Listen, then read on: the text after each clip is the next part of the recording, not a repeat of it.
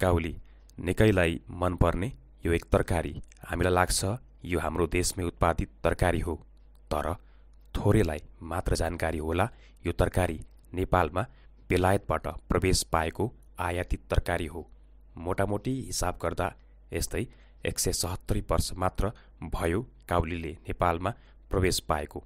नाम पनि आखिर यसले विदेशी नै त अप्नाएको छ। काउली शब्द कहाँ नेपाली शब्द हो त?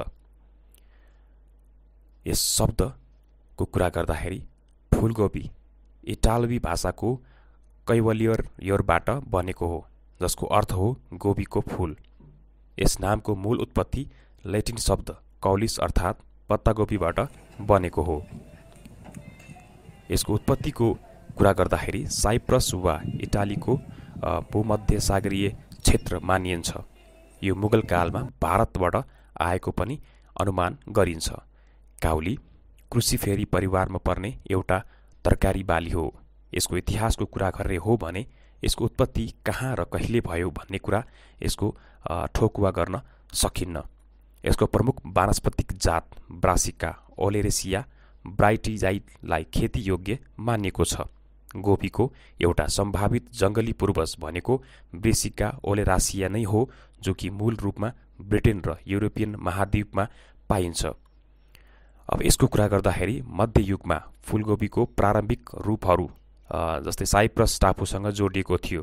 किनभने बाह्रौँ र तेह्रौँ शताब्दीका अरब वनस्पति शास्त्रीहरू इब्र अल बबाम र इब्र अल बैटरले यसको उत्पत्ति साइप्रस भएको दावी गरेका थिए। यस विषयमा हुन त विभिन्न समयमा बहसको मुद्दा बनिरह्यो जहाँ फुलगोबीलाई यसको जुन कहिलेकाहीँ साइप्रिट कोल्बर्ट पनि भनिन्थ्यो र साइप्रसबाट पश्चिमी युरोपमा फुलगोबीको बिउको व्यापक व्यापार लगभग सोह्रौँ शताब्दीसम्म जुन फ्रान्सेली लुसिग्रन शासकहरूको अधीनमा रह्यो। यसबाहेक प्राचीन युनानीहरूसँग गोबीका धेरै प्रकार हुन्थे।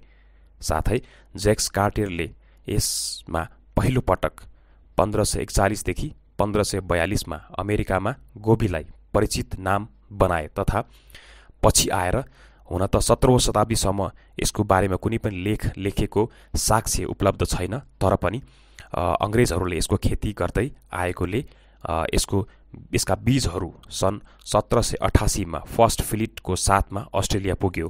त्यसै वर्ष अस्ट्रेलियाको नार्फाक द्वीपमा बीज छरिए। र अठार सय तिसको दशकसम्म अस्ट्रेलियामा मानिसहरूको मनपर्ने तरकारी बनिसकेको थियो यो।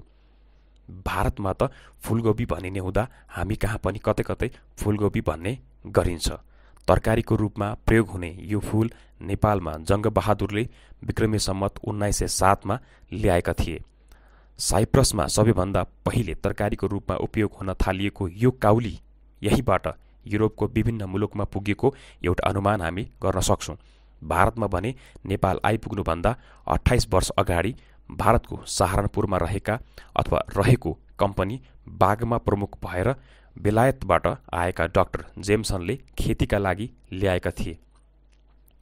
हुन त कुर्सीफेरी परिवार अन्तर्गत पर्ने काउली नेपालको जाडो मौसममा हुने एक प्रमुख तरकारी बाली हो। मौसम अनुसार नेपालमा तराईदेखि उच्च पहाडी क्षेत्रसम्म पनि यसको खेती गर्न सकिन्छ।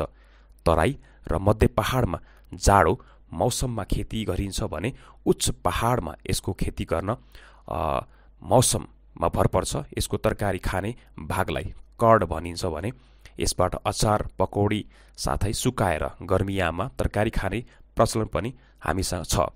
काउलीमा हामीलाई चाहिने खनिज तत्त्व far phosphorus potassium iron vitamin B A र सीको केही मात्रा पाउने गरिन्छ।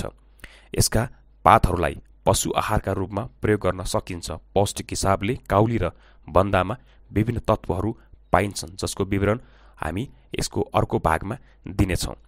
आशा छ आज हामीले यस जुन फुलगोपीको यानि कि काउलीको विषयमा यसको इतिहासदेखि वर्तमानको कुरा गरेका छौँ।